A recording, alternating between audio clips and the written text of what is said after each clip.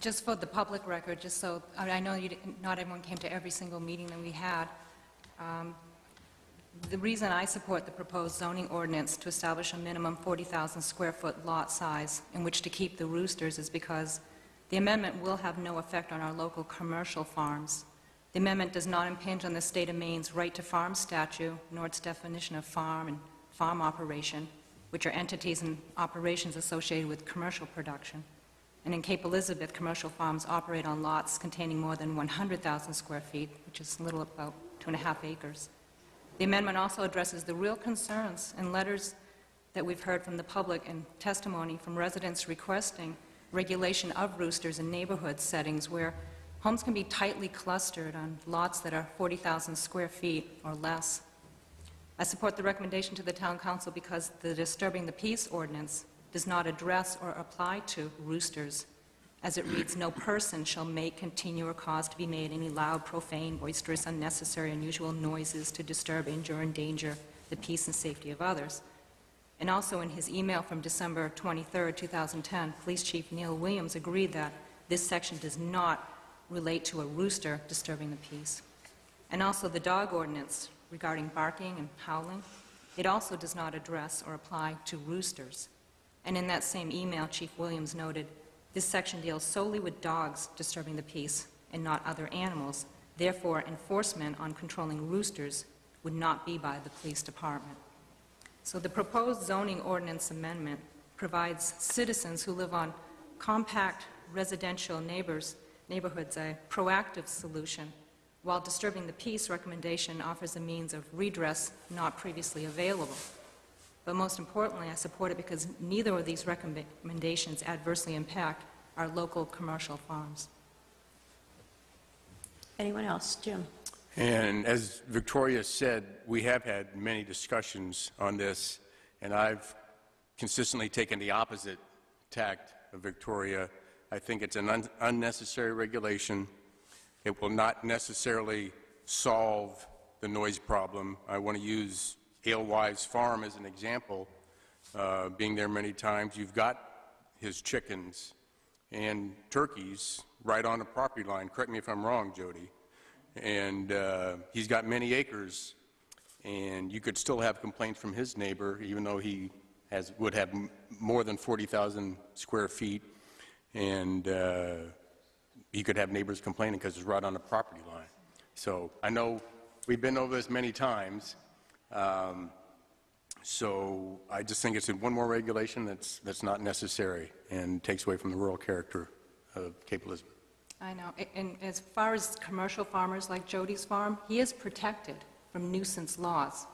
That doesn't mean you won't get complaints, though, about the, the noise. But then the police can let them know that our commercial farmers, and rightly so, are protected from nuisance. Yeah, but as, uh, I can't remember your name, um, Beth, it's a slippery slope, and I think it's, we'll continue to uh, disagree on this. We will agree to disagree on this. Anyone else wish to make a comment? Carol Ann? In our many discussions, Jim and I have been on the, the side of noise ordinance as a means of addressing this issue. Um, And Victoria has very strenuously defended her position on the 40,000 square feet. Um, So I, I've wrestled with this a lot in which way to go, but one thing I'd like to do is see it move forward. So I'm, I really think it needs to move to the town council. And, uh, we- and further, further option, opportunities to address it will be, be at the council level. Anyone else? Madam Chairman, I obviously was not part of any of the previous discussions, meetings, so I, I must be honest and plead some ignorance as to what the positions of other people have been. Um, I guess my immediate question is, what is the problem? Well, we've had a couple, couple complaints over the last year or two, I guess, of a neighbor. I guess I'm trying to think the only one I can remember, and it did get resolved, um, neighbor to neighbor, as I understand it. Please correct me if I'm wrong. Um, And the, the offending rooster all of a sudden was not there one day, as I remember. So uh, that's how that particular incident was resolved, but I think it also generated the, this whole thing. Uh, I don't know if he sent a letter, I don't remember how it all started. We have a lot of background on that. I- I was hoping not to get into that again tonight. Um, We did have a member of the public, though, at least one, who, who even after the situation was resolved, um, spoke, and actually, it's one of the interesting things about having numerous opportunities for public comment. Um, In one of our public hearings, the only person who appeared and spoke was uh, a neighbor who was quite adamantly against having roosters in these smaller, more compact neighborhoods, and spoke for quite a long time. Tonight, we have only the other's point of view represented. Um, So I think no one particular hearing, I think, is representative of, of all of the opinions that are, are there. Maureen, you may have more detail. Well, you did ask the question. Um, I have a memo from the town manager to the planning board.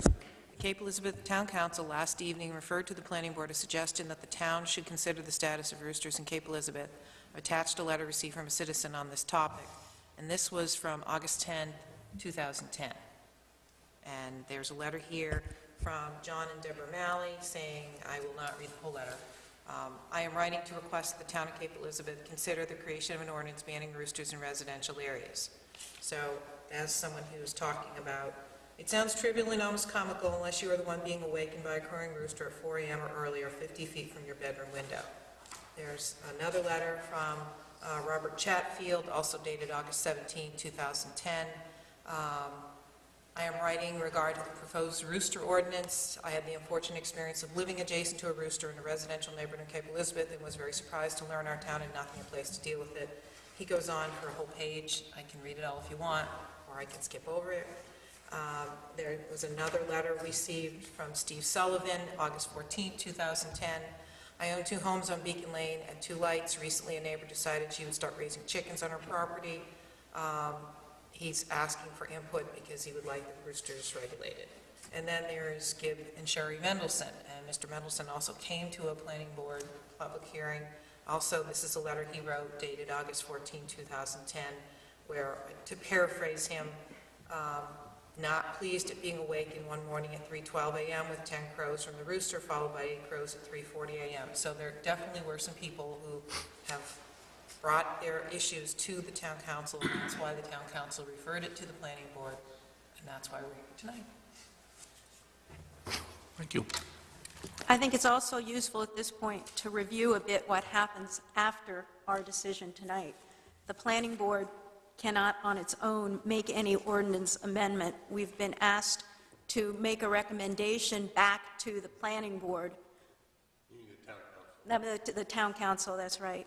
We will then send to the town council a memorandum summarizing our recommendation and the input that we have had. The town council will then most likely refer the matter to their ordinance committee, and the public will again have the opportunity to discuss the matter in that forum.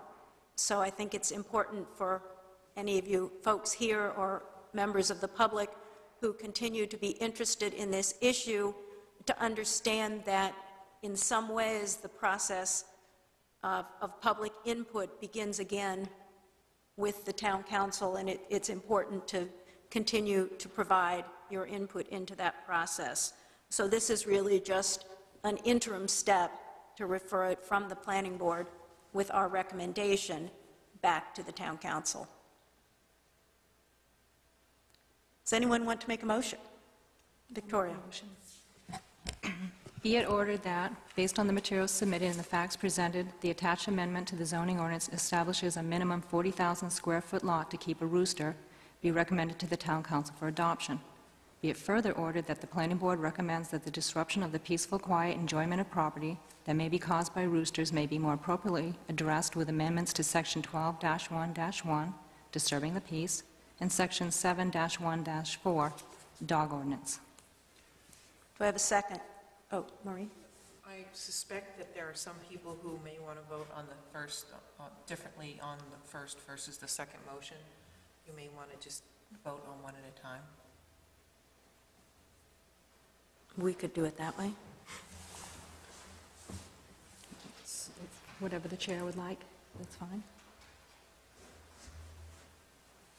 Sure, let's do that. So you want to just do the, move the first? Let's, yep, the Part. first motion. Do I have a second for the first part of the motion, the amendment to the zoning ordinance?